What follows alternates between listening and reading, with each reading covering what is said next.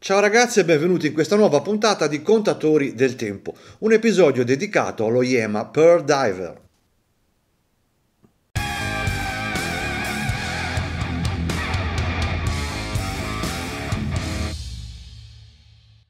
Un orologio che è sul mercato da un paio d'anni, non è recente, ma che porta con sé una storia del tutto particolare, ossia è il frutto della realizzazione voluta da un appassionato, tale Marvin Ravanel. Sì, perché Yema attraverso la propria piattaforma aveva chiesto ai fan di disegnare un orologio e questo è quello scelto. Attenzione che tutte le particolari specifiche tecniche che troveremo seguono questa filosofia perché troveremo un vetro plexiglass, eh, inserto ghiera in alluminio, sono frutto della scelta degli appassionati, un, un percorso preciso che ha portato alla realizzazione di questo orologio. Non siamo quindi qui a giudicare queste scelte, ma ad accettarle come frutto di un percorso di un appassionato, un insieme di specifiche realizzate e pensate per questo appassionato. Vi lascio il link qua sotto in descrizione poi per vedere tutto il percorso fatto da Yema e dagli appassionati per raggiungere a questo orologio. Si ispira a tratti allo Yema Rallygraph 2 degli anni 60,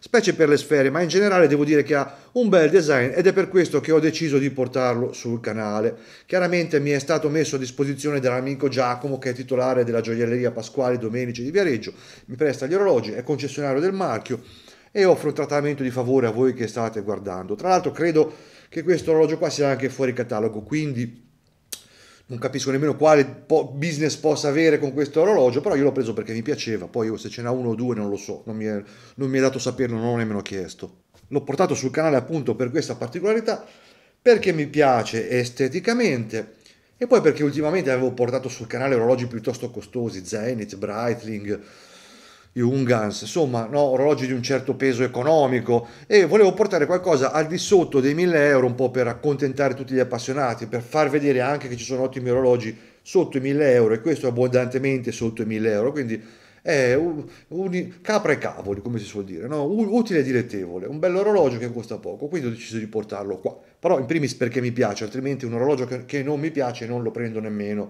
Non è che vi porto qua un orologio economico che non mi piace solamente perché è economico. No, non esiste.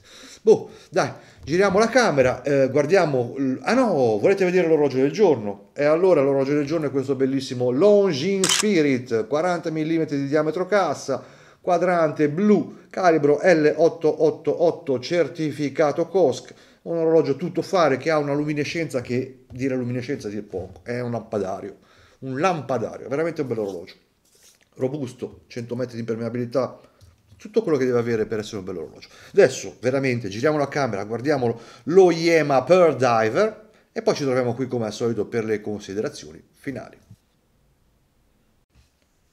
diamo uno sguardo ai risultati ottenuti dalle misurazioni effettuate sul campo. Diametro cassa 38 mm, spessore 13.9 mm, ingombro trasversale al polso 46 e interasseanza da 20 mm.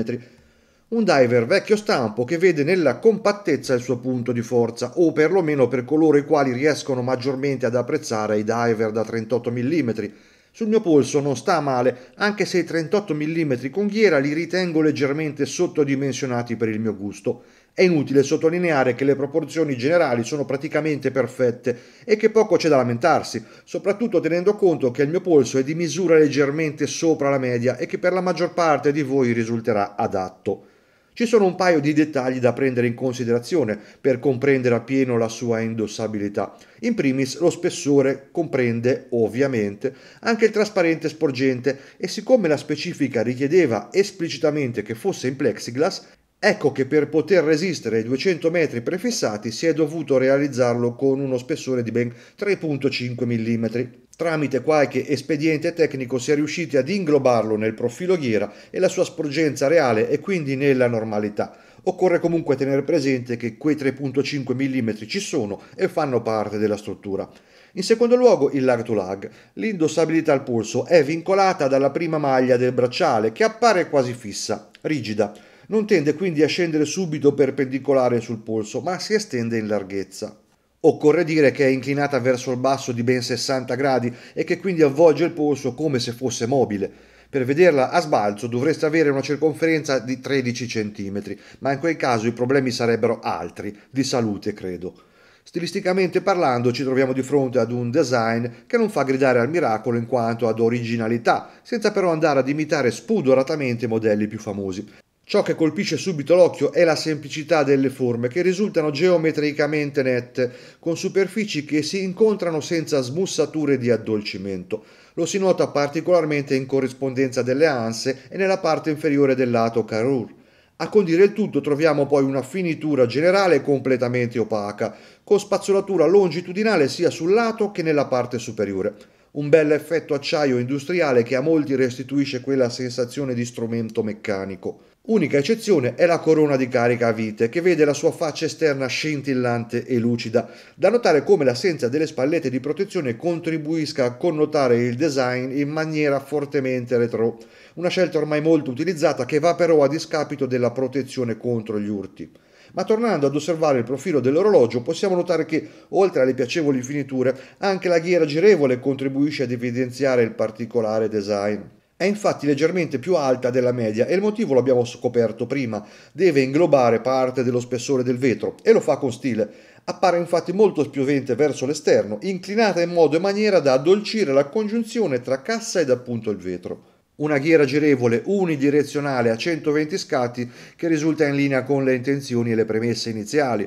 L'inserto in alluminio è sicuramente più caldo e affascinante rispetto ai materiali moderni, per contro risulterà facilmente graffiabile e tendente allo scolorimento. Questione di scelte.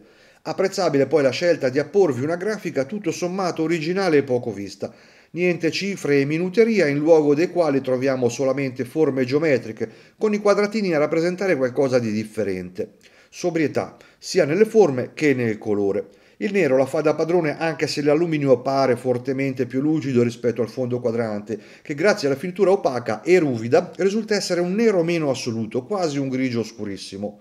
Un quadrante piatto e semplice che non mette in evidenza alcuna tridimensionalità e non cerca di accattivarsi le simpatie tramite inopportuni scintillii. Qui è tutto opaco, indici tondi, sfere e scritte varie, tutto con la stessa finitura e tutto su di un piano. Fa forse eccezione la sfera secondi laccata di bianco che risalta per differenza. L'insieme generale di queste caratteristiche pone in risalto un importante fattore per ogni orologio, la leggibilità. Risulta palese che il contrasto tra fondo e indici color sabbia ci restituisce la possibilità di comprendere l'orario in maniera eccelsa, senza titubanze. Da segnalare poi che l'assenza della finestra data permette al quadrante di apparire molto equilibrato e simmetricamente sviluppato in verticale.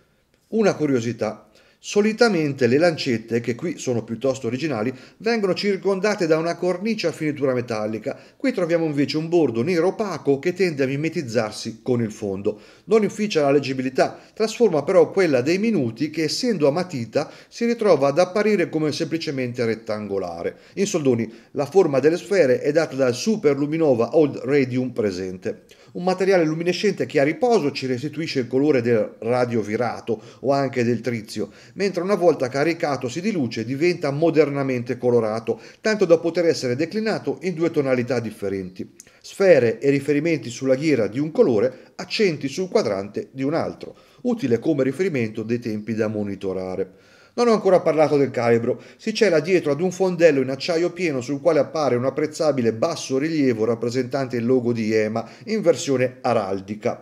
Ed è una scelta che molti approveranno, un oggetto tutto acciaio fa sempre il suo effetto, anche se poi ci adattiamo e prendiamo anche gli orologi con fondello trasparente. Dicevo il movimento, si tratta dello IEMA 2000, un calibro progettato, sviluppato e assemblato da IEMA stessa.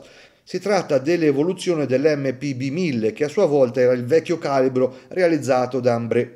Quando quest'ultima è divenuta proprietaria di IEMA, ha passato il suo know-how a IEMA stessa che ha provveduto ad ulteriori sviluppi. Ho sempre avuto dei dubbi a riguardo del fatto che il costo di uno IEMA con calibro in house fosse inferiore a quello di uno IEMA con sellita.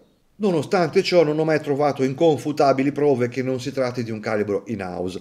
Le immagini dei laboratori della sede parlano chiaro e mostrano macchinari che neppure alcuni importanti marchi svizzeri hanno. Sono giunto alla conclusione che i costi siano stati ammortizzati nel tempo e che i componenti vengano realizzati in Cina, ma è solamente una mia ipotesi che non va ad inficiare la qualità del calibro è normale esternalizzare alcune lavorazioni. Detto ciò, ritengo che il valore aggiunto di questo calibro possa essere la regolazione durazione su 4 posizioni e lo scarto massimo ammesso di più 10-10 secondi al giorno. Per contro dovrete rivolgervi all'assistenza ufficiale in caso di revisione, anche se penso che lo smontaggio e il rimontaggio possano essere alla portata di un bravo orologiaio. In ultima analisi non resta che dare uno sguardo al bracciale, che vede un design particolare, con maglie geometricamente singolari unite da due segmenti centrali, un aspetto piuttosto originale che poco si è visto. Da notare che la finitura è completamente opaca e spazzolata, esattamente come la cassa, e che il tutto l'insieme ci restituisce l'aspetto di un orologio maschio.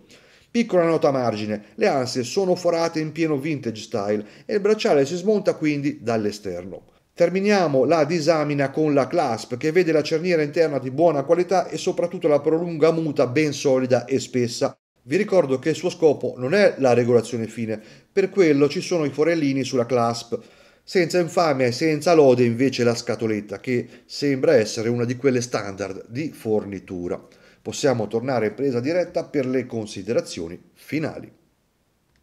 È un bel orologio, dai, mi sono anche divertito a testarlo, a fare la recensione, perché è quasi privo di difetti. Ora, se poi li vogliamo trovare anche un po' pretestuosamente, quelli elencati sono la clasp che può sembrare un pochino di fornitura, no? uguale, simile a tante altre, ma le, le, la maglia del bracciale che è fissa, che è rigida, quindi che allunga un pochino il lag to lag, volendo ci possiamo mettere quello.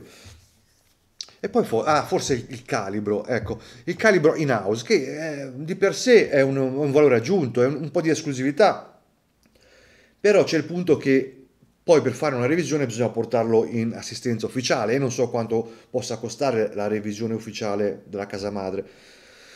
Probabilmente chi spende 800 euro in un orologio non vorrebbe spenderne tantissimi per fare la revisione. Mm?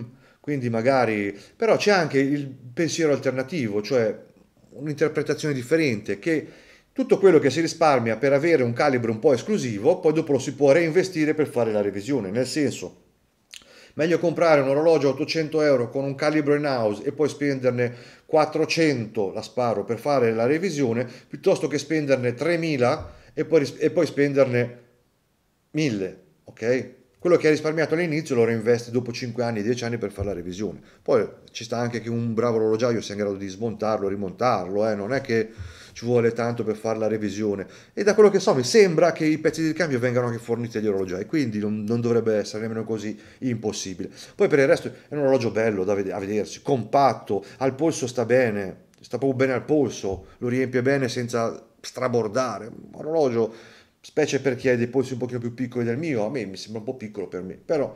Mm.